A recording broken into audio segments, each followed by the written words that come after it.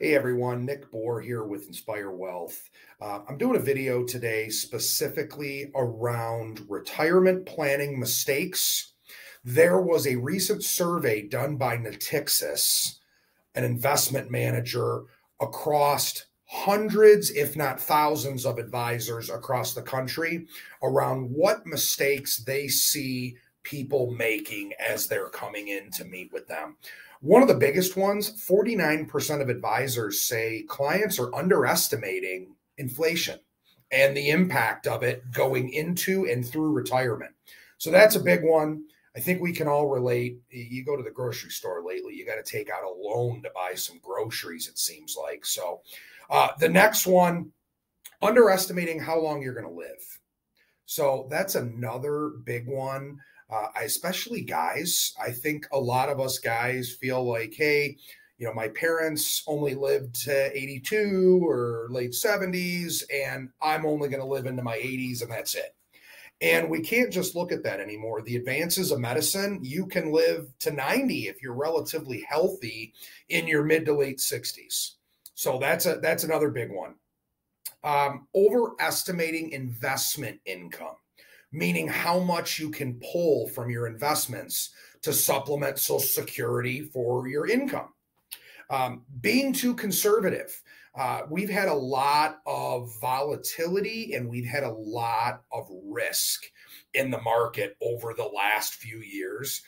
Uh, and then we look back at 08 and you know it, it has really gotten a lot of clients scared and gun shy on being in the market anymore especially being in the market completely.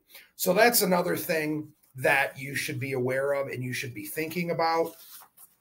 Uh, being unrealistic as far as returns. Uh, I tell our clients, listen, if you're if you're moderate risk, five percent, six percent range, that's realistic. Anything more than that, you've got to be more you've got to be more willing to take risk to try to achieve seven, eight, nine percent. So that's something else to keep in mind. Healthcare costs. Healthcare costs are huge. The Fidelity study last year said a couple that's 65 just from co-pays, deductibles, co-insurance, you can expect to pay $500,000 in retirement for healthcare expenses. So there's something that we just want to, to consider. That's not long term care. So now it's going to be over time. So it's not like you're going to get a bill for that much all at once. So those are things you just want to plan for because more than likely your healthcare expenses are going to go up as you get older. Uh, failing to understand income sources. Uh, 35% of advisors say that.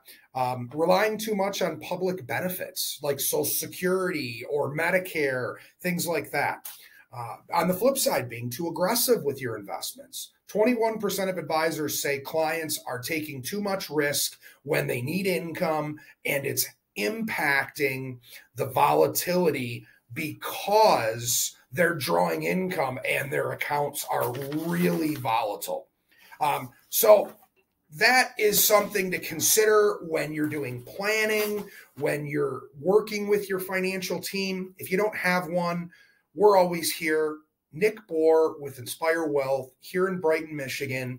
Uh, we help clients every day. Check out our website, inspireyourretirement.com.